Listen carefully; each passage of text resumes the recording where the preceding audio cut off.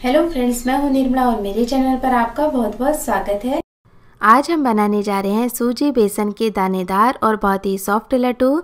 इन लड्डुओं को हम बिना चाशनी के बनाएँगे। तो यदि आपको चाशनी बनाना मुश्किल लगता है तो इस प्रकार से लड्डू बनाने में आपको कोई परेशानी नहीं होगी। और इन लड्डुओं की खास बात ये भी है कि इन्हें महीने भर तक स्टोर भी किया जा सकता है। पर यकीन मानिए, ये लड्डू इतने टेस्टी बनते हैं कि स्टोर करने के लिए लड्डू बचेंगे ही नहीं।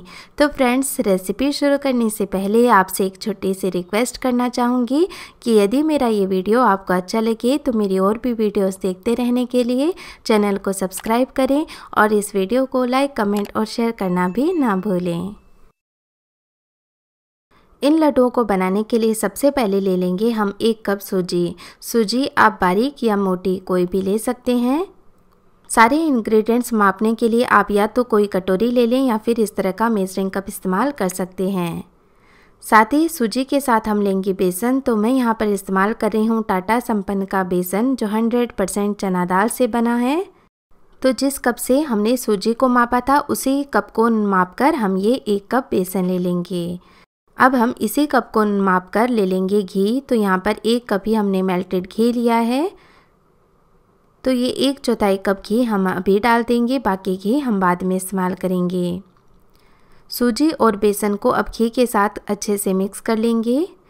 तो जैसे ही हम मिक्स करेंगे तो सूजी बेसन में घी का अच्छा मॉइस्चर आ जाएगा। यहाँ पर मैंने सूजी और बेसन दोनों का इस्तेमाल किया है। आप चाहें तो खाली बेसन से भी ये लड्डू बना सकते हैं या सिर्फ़ सूजी से भी बना सकते हैं या इन लड्डुओं को बनाने के लिए आप गेहूँ का आटा भी इस्तेमाल कर सकते हैं। लेकिन यदि आप सूजी और बेसन दोनों को मिलाकर ये लड्डू बनाएँगे तो लड्डू में बहुत ही अच्छा टेस्ट आएगा। तो आप देख सकते हैं, घी को हमने अच्छे से मिला लिया है, काफ़ी अच्छी मुट्ठी इसके अंदर बन रही है। अब हम इसके अंदर पानी डालेंगे और इसका एकदम ढीला डो बनाकर तैयार करेंगे। पानी थोड़ा ज़्यादा मात्रा में डालेंगे क्योंकि हमने इसके अंदर सूजी का इस्तेमाल किया है। तो सूजी को जब हम रेस्ट देंगे तो ये काफ़ी अच्छे से फूल जाएगी। तो जो डो अभी आपको बहुत ही ढीला दिखाई दे रहा है, वो काफ़ी टाइट हो जाएगा। तो सूजी को इस तरह से जब हम पानी पिला देते हैं और वो अच्छे से फूल जाती है तो लड्डू भी बहुत अच्छे बनते हैं। और जब लड्डू इसके बांधते हैं तो इसके जो दाने होते हैं, वो बिखरते भी नहीं हैं। तो ये देखिए, एकदम ढीला डो हमने बना कर रखा है। लेकिन थोड़ी देर जब हम रेस्ट देंगे तो ये काफ़ी टाइट हो जाएगा। पानी के बजाय आप दूध का इस्तेमाल भी कर सकते हैं इस डो को बनाने के लिए।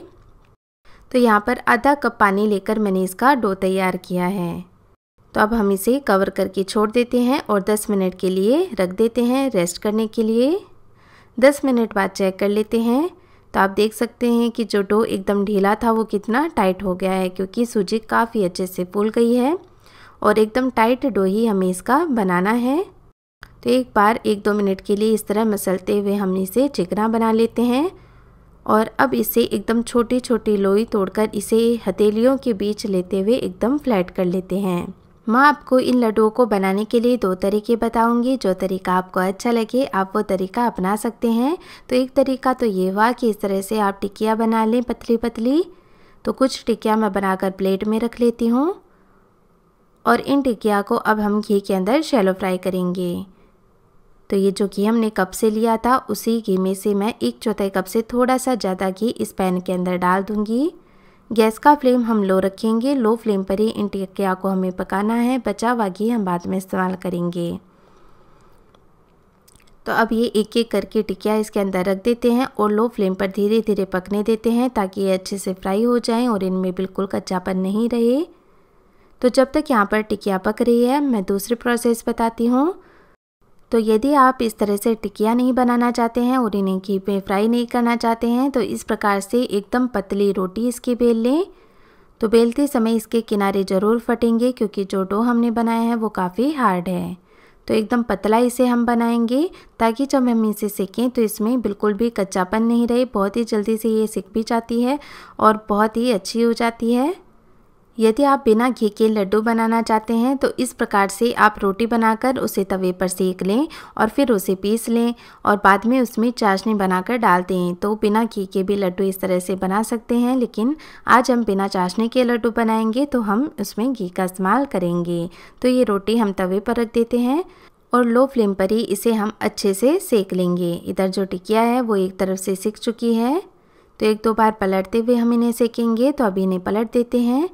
ताकि ये ऊपर की साइड भी अच्छे से सीख जाए, नीचे से।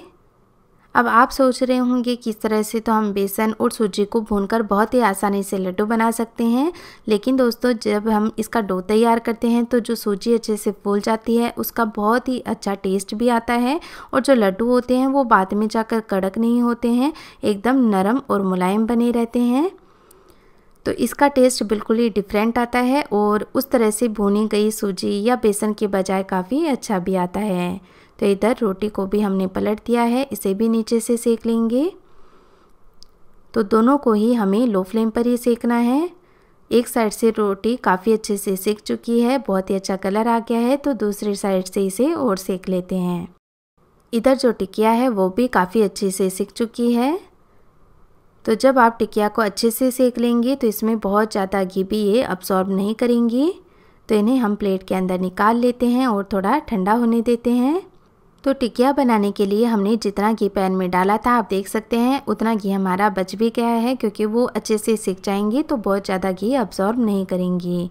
तो इस घी को हम गर्म करके बाद में इस्तेमाल करेंगे और ये टिकिया भी अच्छे से ठंडी हो चुकी हैं तो इन्हें हम तोड़ लेते हैं।